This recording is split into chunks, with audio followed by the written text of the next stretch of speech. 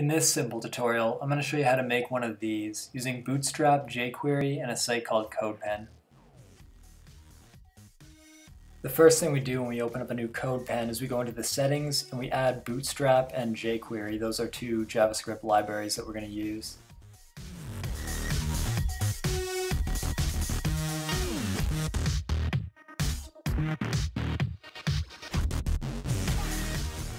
We're going to create a div element with a class of container.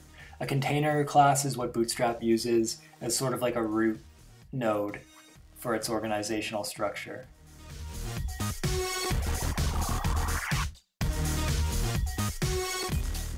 I'm going to write a few lines of CSS. Basically, it's just going to make our container light blue so that we can see it. First line is going to say background, and that's going to be what makes our container light blue. And the second line is going to give our container a height of 100% of the viewport.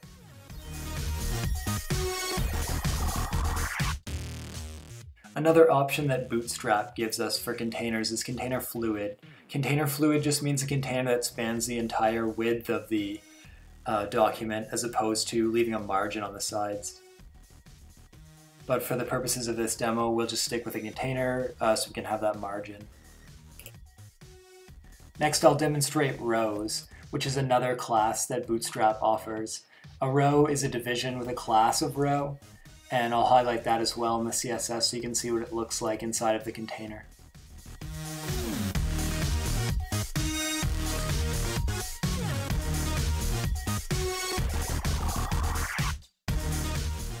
That's one row that you can see there with a height of 300 pixels. I'll now add a second row and I'm just going to put a little break between them so you can see the division of the two. Rows are sort of like a second level of content organization inside of a container.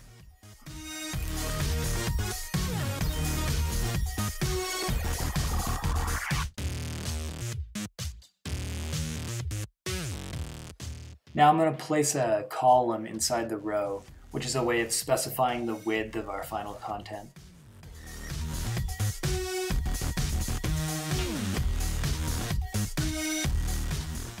The way Bootstrap deals with columns is it considers the width of the viewport to have a width of 12.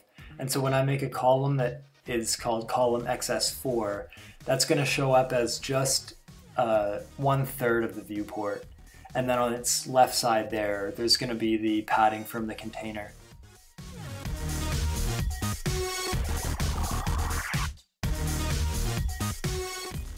Now when I add two more columns, uh, you'll see what happens here is that all three columns together now have a, have a width of 12, which means they take up the whole screen, except for the margins on the left and right uh, caused by the container. And when I make these columns different colors, you'll uh, see them stand out.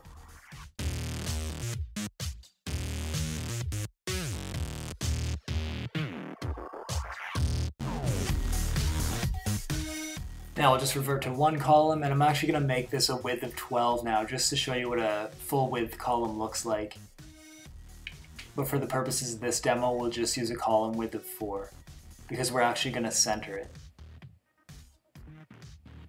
And the way we center a column with Bootstrap is we make another imaginary column to the left of it. So imagine if I made two columns, both of width 4. The second column would actually be in the center of the screen. In this case though, column XS offset 4 means that make a fake column to the left of it that's a width of 4, and then take up the center 4 columns with one column. And then if we did add another column, it could span for the 4 on the, on the right side of that center column.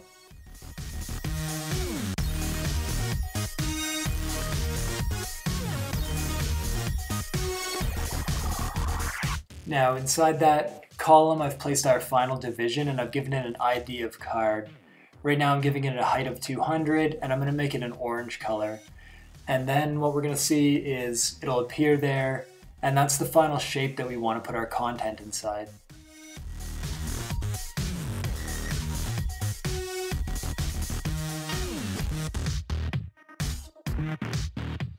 I'm going to give this shape a uh, black border and make its corners rounded just to make it look a little better and then we'll move on to the JavaScript.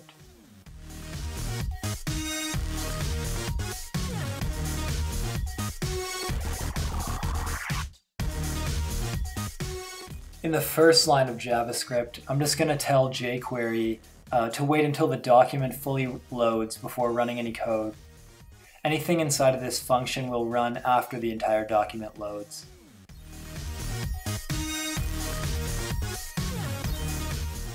We could center this rectangle with CSS, but in order to demonstrate some JavaScript, I'm going to center it with JavaScript. So the first thing there is I'm telling jQuery to get the height of the window, because that's one of the values that I'm going to use to center this.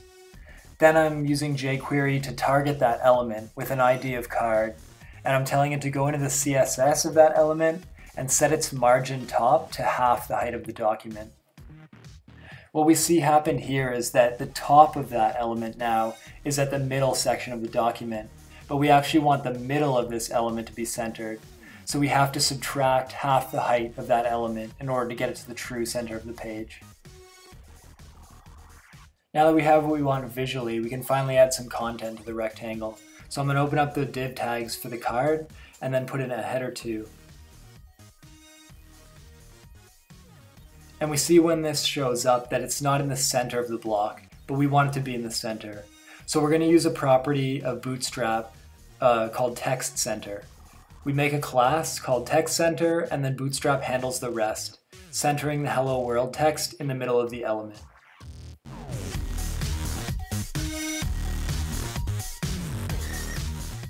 Now we're going to add a paragraph tag with a sentence of text.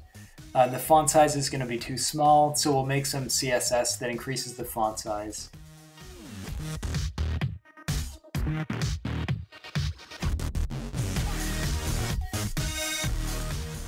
We'll use a special CSS selector here to select the card element and then the paragraph tag inside of the card element.